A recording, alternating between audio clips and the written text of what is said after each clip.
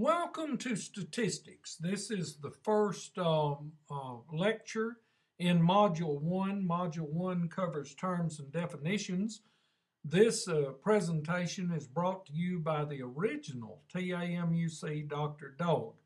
I certainly like this uh, little saying that we have here that says tortured numbers and they will confess to anything.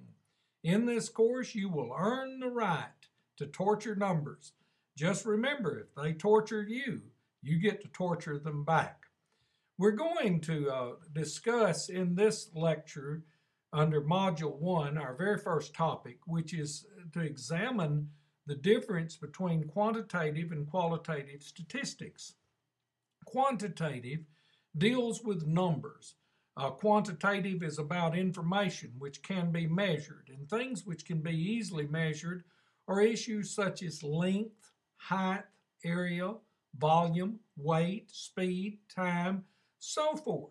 So when we talk about quantitative statistics, we are talking about things that can be uh, examined in regards to easily measured quantities.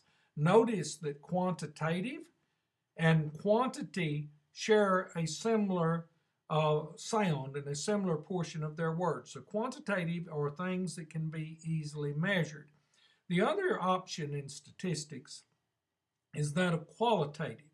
Qualitative deals with descriptions and information which can be observed but is not easy to measure.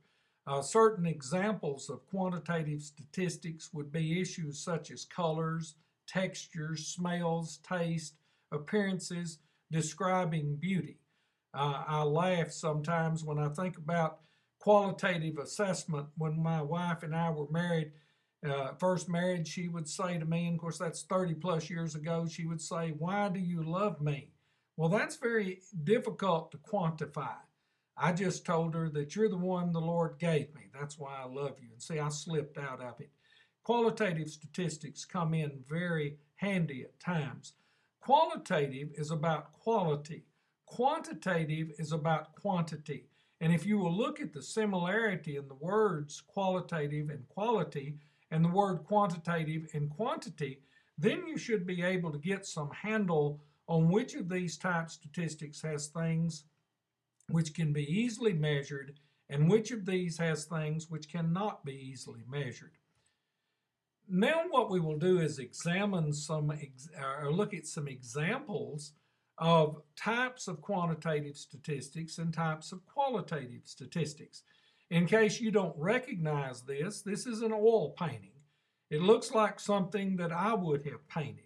Now keep in mind that I'm a math major and um, I, I'm not very much into oil painting stuff, but looks like it could be fun. If you will examine the quantitative side of this painting, we could talk about how tall it is, how wide it is. We could discuss how many square inches of area that it has. We could talk about the, the weight of the paint. We could talk about the thickness of the paint. Those are things that are quantitative.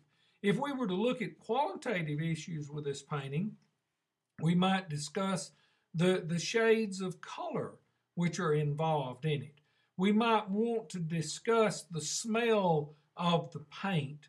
Uh, those are qualitative issues. Let's look at another example. In this example, we are going to examine a group of emperor penguins. On the qualitative side, we have the height of the penguins. We might have the average weight of the penguins. Uh, we might talk about uh, the length of their little nose beaks. We might talk about how far they can see. On the qualitative side, we might talk about what these penguins smell like.